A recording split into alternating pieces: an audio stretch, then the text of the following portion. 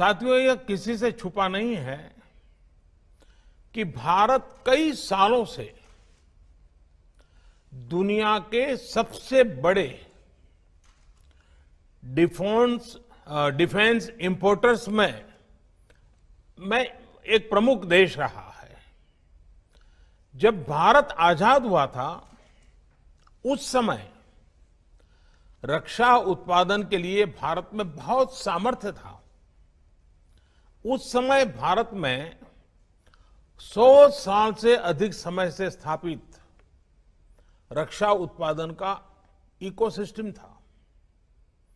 और भारत जैसा सामर्थ्य और पोटेंशियल बहुत कम देशों के पास था। लेकिन भारत का दुर्भाग्य रहा कि दशकों तक इस विषय पर उतना ध्यान नहीं दिया गया जितना देना चाहिए था। एक प्रकार से ये रूटीन एक्सरसाइज बन गया, कोई गंभीर प्रयास नहीं किए गए। और हमारे बाद में शुरुआत करने वाले अनेक देश भी पिछले 50 साल में हमसे बहुत आगे निकल गए। लेकिन अब स्थिति बदल रही है। पिछले कुछ वर्षों में आपने अनुभव किया होगा कि हमारा प्रयास इस सेक्टर से जुड़ी सभी बेड़ियाँ तोड़ने का एक निरंतर प्रयास है। हमारा उद्देश्य है कि भारतीय में मैन्युफैक्चरिंग बढ़े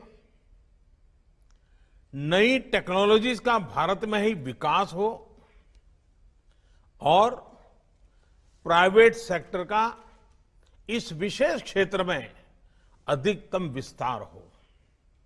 और इसके लिए लाइसेंसिंग प्रक्रिया में सुधार लेवल प्लेइंग फ़ील्ड की तैयारी एक्सपोर्ट की प्रक्रिया का सरलीकरण ऑफसेट के प्रावधानों में सुधार, ऐसे अनेक कदम उठाए गए हैं।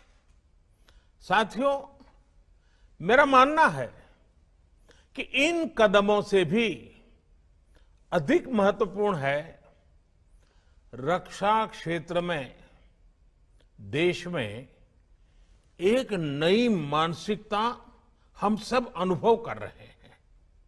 एक नई मानसिकता का जन्म हुआ है। आधुनिक और आत्मनिर्भर भारत के निर्माण के लिए रक्षा क्षेत्र में आत्मविश्वास की भावना अनिवार्य है। बहुत लंबे समय से देश में चीफ ऑफ़ डिफेंस स्टाफ की नियुक्ति पर विचार किया जा रहा था। लेकिन निर्णय नहीं हो पा रहा था। यह निर्णय नए भारत के आत्मविश्वास का प्रतीक है। बहुत लंबे समय तक रक्षा उत्पादन में विदेशी निवेश की अनुमति नहीं थी। श्रते अटल जी की सरकार के समय यह नई पहल की शुरुआत हुई थी। हमारी सरकार आने के बाद इसमें और सुधार किए गए।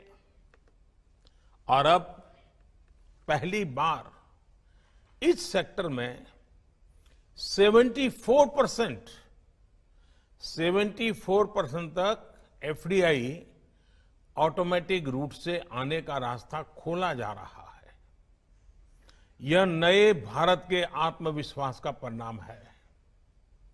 दशकों से ऑर्डिनेंस कारखानों के सरकारी विभागों की तरह ही चलाया जा रहा था। एक सीमित विजन के कारण देश का नुकसान तो हुआ ही। वहाँ जो काम करने वाले लोग थे, जिनके पास टैलेंट थी, कमिटमेंट था, मेहनती थे, ये हमारा बहुत ही अनुभव से संपन्न हमारा जो मेहनत करने वाला श्रमिक वर्ग वहाँ जो है, उनका तो बहुत नुकसान हुआ। जिस सेक्टर में करोड़ों लोगों के रोज़गार के अवसर बन सकते थे, उसका इकोसिस्टम बहुत ही सीमित रहा। अब ऑर्डिनेंस कारखानों का कॉरपोरेटाइजेशन करने की दिशा में हम आगे बढ़ रहे हैं। इस प्रक्रिया के पूरा होने पर श्रमिकों और सेना दोनों को बल मिलेगा। यह नए भारत के आत्मविश्वास का प्रमाण है।